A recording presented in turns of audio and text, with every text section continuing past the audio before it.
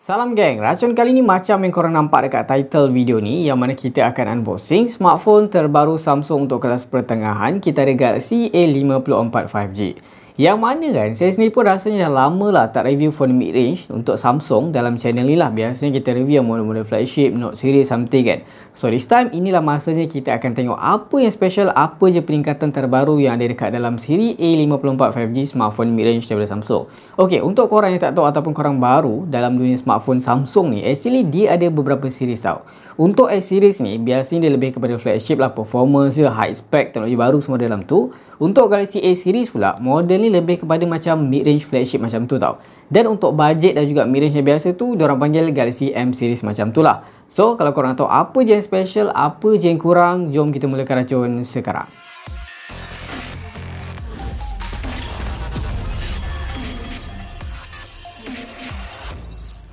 Okey, kita akan mulakan video kita dengan sesi unboxing dulu tau. Yang mana dekat sini macam korang nampak, phone tu ada atas meja. Dan kalau korang perasan lah untuk phone Samsung yang mid-range ke bawah ni, kotak dia tu dibaluti dengan warna putih macam ni. Dan apa lagi yang korang perasan yang korang nampak dekat sini, satu benda yang agak kurang menyenangkan lah. Even phone ni phone mid-range tapi kotak dia jenis nipis tau. Bermakna korang tak dapat adapter dalam ni. Adapter korang perlu beli asing tau. Okey, nasib baik saya adalah adapter yang saya beli. Travel adapter dekat sini ada beberapa cable port dekat sini. 65 watt lepas tu 25 watt dan juga max 15 watt. Tapi masalahnya adapter ni mahal tau. Dekat 300 saya silap saya. Ok so kita kembali kepada phone kita dekat sini. Untuk design rekaan phone tu korang boleh nampak dekat sini lah. Lepas ni saya akan huraikan lebih panjang lebih detail.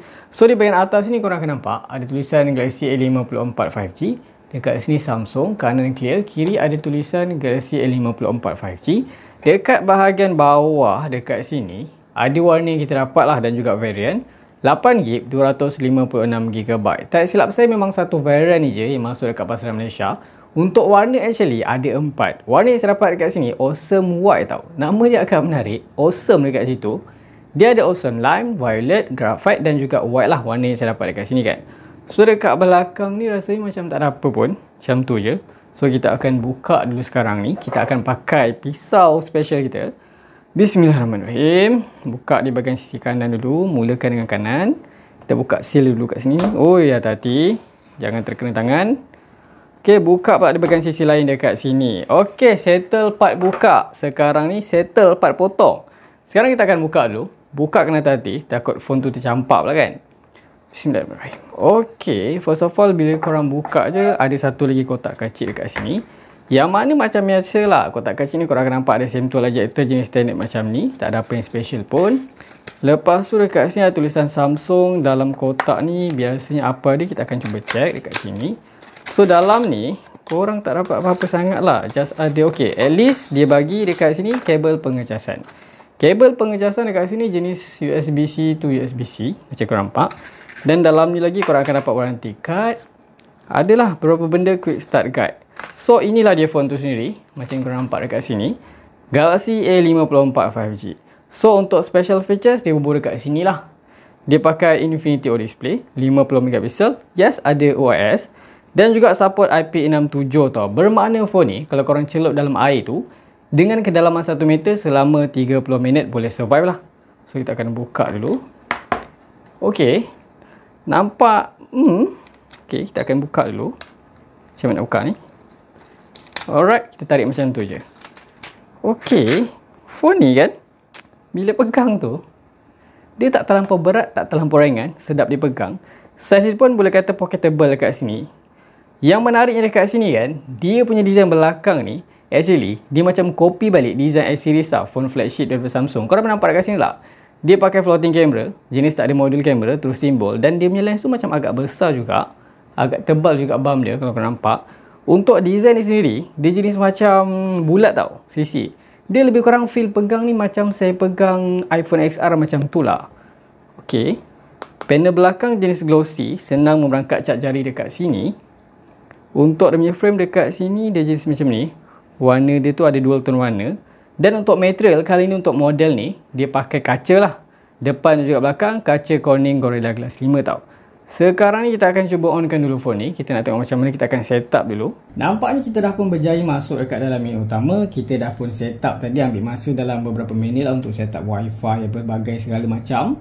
Ok, so dekat sini out of the box bila korang buka je Samsung Galaxy A54 5G ni korang terus dibekalkan dengan UI ataupun software yang paling latest daripada Samsung setakat ni One UI 5.1 Untuk UI dia dekat sini boleh kata memang sangat clean smooth depend lah pada korang. Ada yang suka One UI ada yang tak suka. Cuba korang komen OS apa yang korang minat. Dekat sini One UI 5.1 ni based on Android 13 untuk animation tu pun boleh kita agak full. Buka tutup aplikasi pun sangat-sangat laju lah dekat sini kan.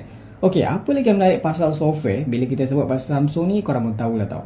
Even phone ni dia mid range tau. Dia bukan flagship. Tapi yang bagusnya Samsung masih kekalkan software update macam yang dekat flagship model tau 5 tahun security 4 tahun OS dan 2 tahun warranty. So bila korang dapat software update lama ni Nak pakai lama ni pun memang tak ada hal lah. So dekat sini kan kita akan mulakan dengan tengok setting dulu. Apa je ada dekat dalam ni Apa je yang baru. Okay anyway untuk bloatware dekat dalam ni Saya kira kan total tak sampai 50 Dan most of the aplikasi yang terinstall dalam ni Korang boleh je uninstall kalau korang tak suka lah So kita akan masuk dekat bahagian setting. Kita akan mulakan dekat bahagian display. Ok untuk spek ringkas Untuk display dia dekat sini Tak cerita lah. Kualiti Samsung memang cantik. Super AMOLED dia bagi.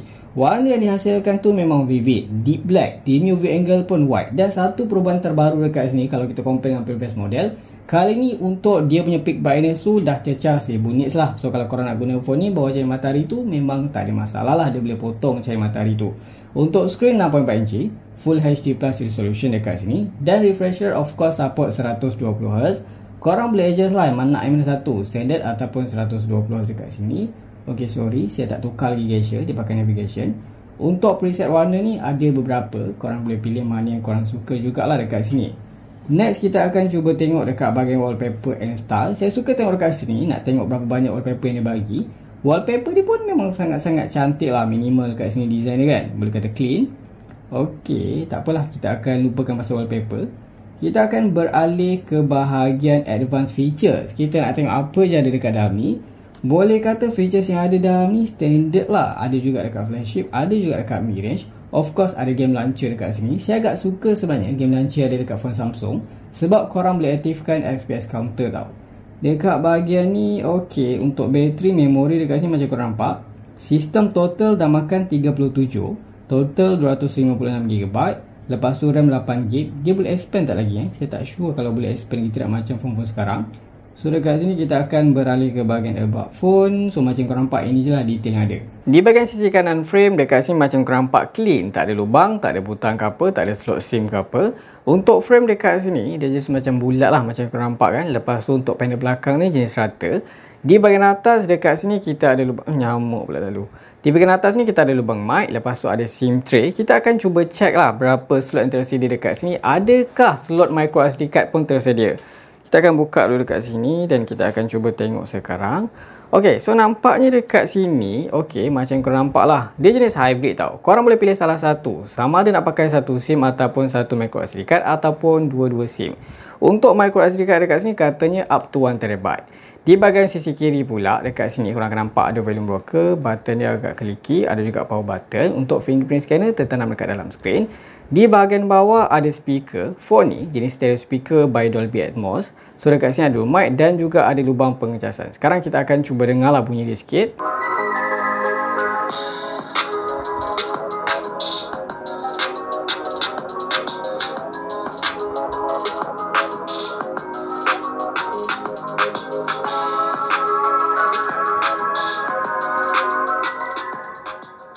Dari segi prestasi, based on spec on paper dekat sini katanya dia pakai CPU ataupun chipset Exynos 1380 lah. Exynos ni kalau korang tak tahu chipset buatan Samsung.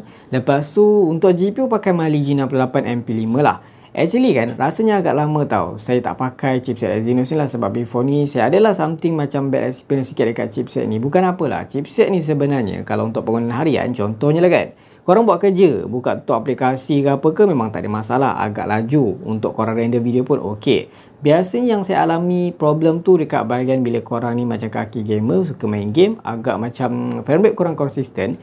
Tapi tu before ni lah. Sekarang ni saya tak pastilah kalau orang dah improve part tu ke apa kita akan tengok nantilah ok kalau korang tanya pula chipset Exynos 1380 ni kalau kita compare dengan Snapdragon dia on pair dengan yang mana? Rasanya dia lebih kurang macam on pair ataupun hampir power itu dengan Snapdragon 778G macam tu lah. Tak silap saya lah kan ok untuk bacaan skor tu tu kalau korang tertanya saya dah pun test saya dah pun run kita dapat 500,000 lebih agak ok untuk chipset kelas pertengahan next dekat sini untuk 3D Mark pun saya dah test tadi kita dapat bacaan skor lebih kurang overall skor 2805 sekarang ni kita akan cuba try main game sikit. Kita nak tengok macam mana prestasi dia. Kita akan cuba main dekat sini PUBG New State Kita dah pun masuk dekat dalam game PUBG New State dekat sini. Kalau korang tertanya kenapa saya pilih game ni? Actually sebab saya perasan untuk PUBG New State ni Dah pun optimas berbanding PUBG Mobile ataupun Apex Legend Yang mana kalau korang masuk dekat setting kan Okay, korang masuk kat setting Korang pergi dekat bahagian grafik Dia dah support 90 FPS taruh kat sini Ataupun korang boleh pakai Max Ultra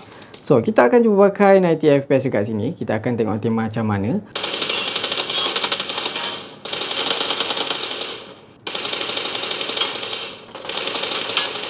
Dari segi prestasi, selama 10 minit lah saya main PUBG New State dekat sini, saya terasa agak okey juga tau. Suhu terkawal, FPS pun stabil, gameplay pun smooth. Yang mana untuk bacaan suhu tertinggi, saya dapat sekitar 42 degree saja. Untuk FPS, dia main sekitar 70 ke 80 macam tu lah. Bagi saya agak okey lah, tak ada stuttering, tak ada lagging. Yang mana nanti saya akan cuba banyak lagi game dan saya akan bagi tahu kat korang dalam next video review lah. Seterusnya kita akan beralih ke bahagian kamera untuk model ni dia support triple camera setup dekat bahagian belakang dan untuk kamera selfie dia lagi besar daripada Samsung Galaxy S23 Ultra 32 megapiksel. Untuk kamera utama 50 megapiksel dekat sini dan ada 12 megapiksel untuk ultra wide angle. Lepas tu lens yang ketiga dia support 5 megapiksel untuk macro. Untuk digital zoom dia boleh max dekat sini 10 kali sahaja. Next apa lagi ada dekat sini kita ada portrait mode macam biasa, ada fun, lepas tu video. Dekat sini boleh rakam paling tinggi 4K 30 fps macam korang nampak. Next dekat dalam mode ni macam biasalah tak ada apa yang special. So kita akan cuba try tangkap gambar sikit dekat sini pokok ni. Okey. Untuk hasil kita akan cuba tengok. Saya perasan untuk hasil ni macam agak accurate, natural. Warna dia tapi macam agak vibrant warna dia, warna kulit dia.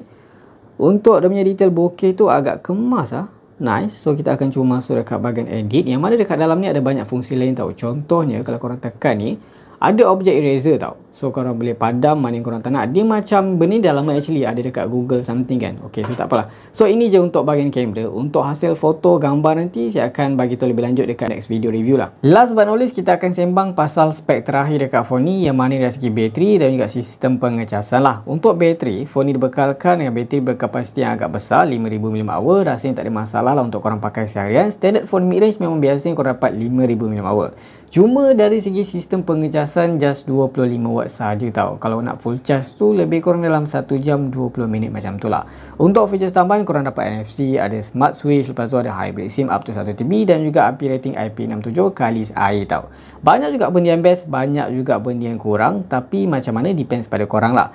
Dari segi harga, okey, macam mana pula kalau kita sembang dari segi harga? Yang mana harga rasmi dia sekitar RM1,899. Dan kalau korang beli time sekarang ni sampai promo RM30,000 lah tak silap saya, korang dapat lah beberapa benda free macam casing apa semua worth it dalam 200 lebih lah tak silap kan? So rasanya sampai sini dulu video kita untuk kali ni. Kalau korang suka video ni jangan lupa tinggalkan like, share, komen dan juga subscribe apa lagi yang korang nak saya buat dekat model ni dekat phone ni? Cuba korang komen. Itu sahaja racun kali ni. Jumpa lagi di racun seterusnya. Assalamualaikum